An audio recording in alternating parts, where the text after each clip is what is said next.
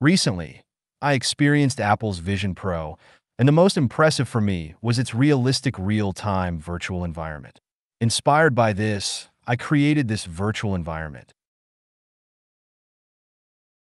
The good news is that Apple's developer channel provided a brief introduction to the creation process of this realistic virtual environment, giving me a general idea of how to create it. However, the bad news is that they didn't explain the details. While working on this small scene, I encountered issues that took up much of my time. I will break down the entire process and the challenges I faced. If you're also interested in creating your own Vision Pro environment, this series of videos will be engagement. This is my scene before baking. Let's take a look at the overall structure of this scene. There's a house, an external skybox, and two transparent planes for casting leaf shadows. That's the basic layout of the scene. Next, let's discuss the materials. In terms of materials, there are purely texture-based materials, PBR materials, and strictly color-based materials. The scene mainly consists of these three types of materials. The final rendering result is quite good, so the materials are kept simple. Let's look at the lighting setup. Now it's a daytime rendering. I've created both a daytime and a nighttime rendering. The differences mainly lie in the ambient light. The light source outside the windows and the sky box visible through the windows. Switch to the night rendering. This is how I achieve two different renderings in one scene.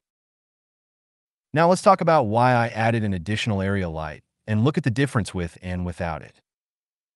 When this area light is present, the most obvious improvement is in the shadows cast by the small table and the bed.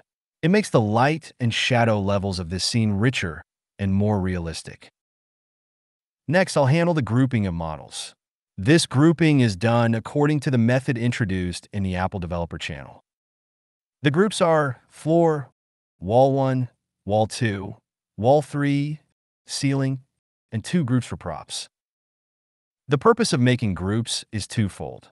First, to manage the models in the scene. Second, since the renderings of each model group will be baked onto a texture, it's important to allocate appropriate pixels to each model to ensure consistent pixel proportions. Before baking, I need to handle the UVs. Models need to have UVs, and those UVs must not overlap for baking. It's particularly important to note the models with purely material types.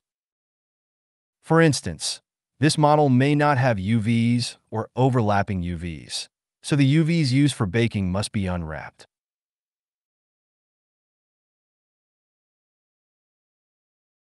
So this group's UV looks like this. The baking will use this UV layout. Next, I will assign a UV for each group of models, and then we can start baking. For baking, I'm using an add-on I developed myself, but you can also bake manually or use other add-ons. If you're interested in my add-on, you can check out this video. Finally, I bake both daytime and nighttime renderings, resulting in two sets of textures. Next, I will discuss how to increase the baking speed, because baking took me a lot of time at the beginning. These models UVs are ready. I will bake these models to test the baking speed using my baking add-on. The baking principle of this add-on is the same as Blender's built-in baking. Add models, modify the names of the baked texture, use GPU baking, and open the Cycles rendering hardware settings. Generally, we think that using both CPU and GPU baking at the same time is faster than using either one alone. Let's test to see if this is true. Okay, let's start baking.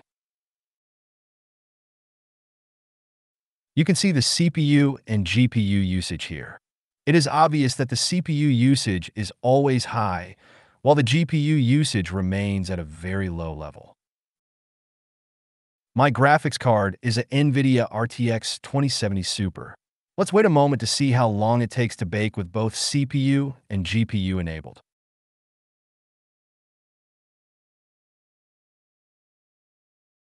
Baking is complete. The time for baking with both CPU and GPU is about 17 minutes. Now, let's reset the time and uncheck the CPU to bake once more.